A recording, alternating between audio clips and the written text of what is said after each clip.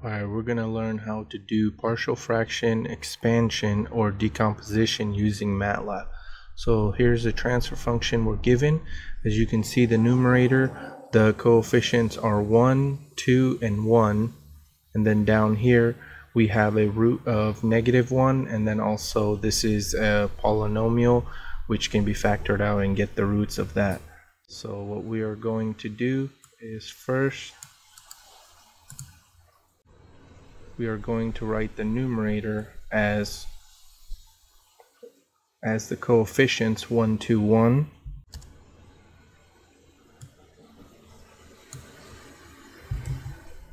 and we are going to write the denominator as a polynomial. So as we can see here uh, this is on the outside so we already know one root is a negative 1 so we write it as negative 1 then you do a semicolon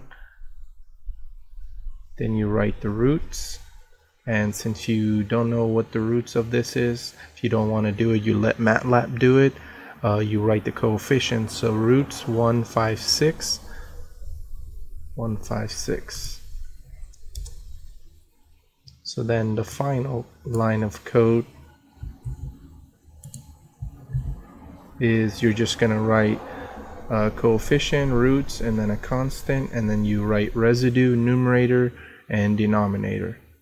So when you press enter, you'll see over here, you get a coefficient of 2, a negative 1, and a 0. So that's what goes in the numerator. And then you have roots in the denominator of negative 3, negative 2, and negative 1. So then the partial fraction expansion, you just write it as based off of these numbers right here.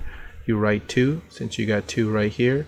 s plus 3, because you got a root of negative 3 here. Minus 1, since you got a minus 1 up here. And then s plus 2, since you got a negative 2 here. You ignore the 0. The numerator will stay the same. The denominator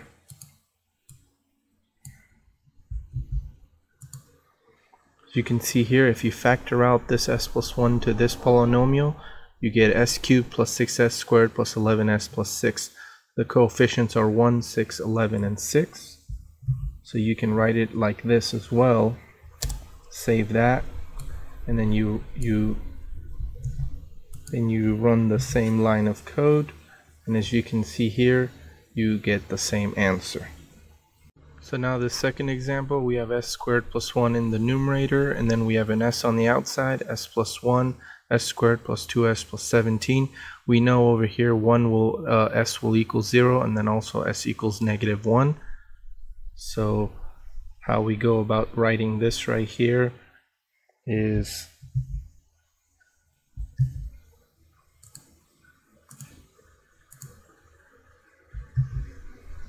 write it numerator 101 because s squared there's a coefficient of 1 there is no s so you put a 0 and then a 1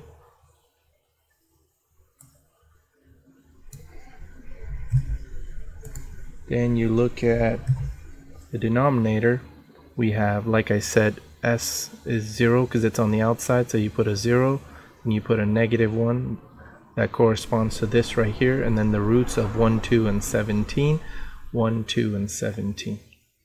Save that, and then like before, one last line.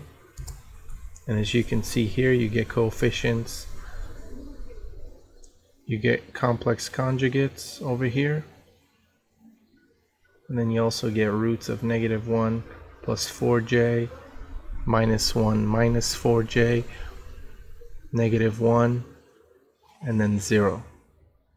So how you write this is you look at the coefficient. So the first coefficient is 0331. That correlates with this root.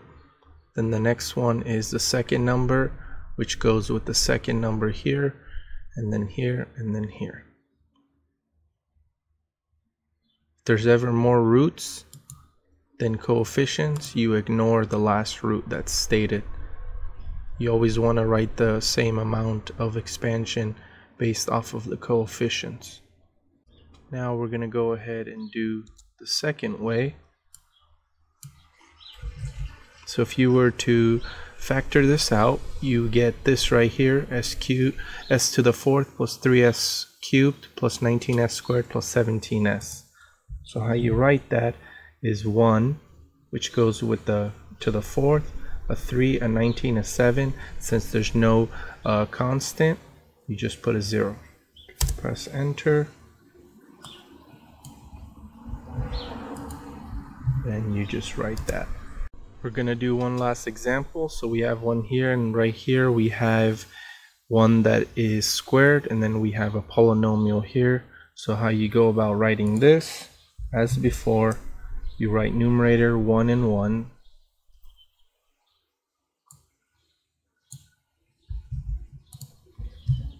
You have, since it's squared right here, you have two roots at negative 2. So you can write that right here and then roots of 1, 7, and 12, which correspond to the coefficients right here. So you store that. And like before, you're just going to write this right here. You get a coefficient of 0.75, negative 2, 1.25, and negative 0.5 with roots that correspond to those coefficients of negative 4, negative 3, negative 2, and then another negative 2. Down here, since you have two roots at negative 2, you know that the second, when you do the expansion, the second one will just be squared. So the first one, as you can see here, is regular, and then the second one becomes squared when you have uh, repeated roots. So now we're going to go do it um, just a little bit different. So So what I have here, so we have roots 1, 4, 4.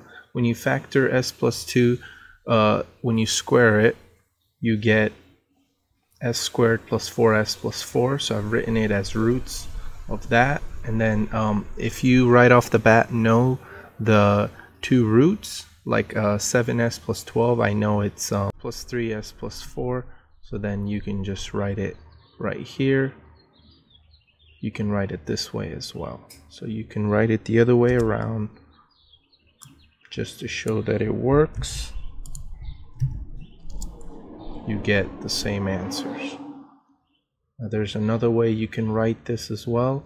If you were to multiply this all out, you get this denominator and the coefficients are 1, 11, 44, 76, and 48. So that second line you can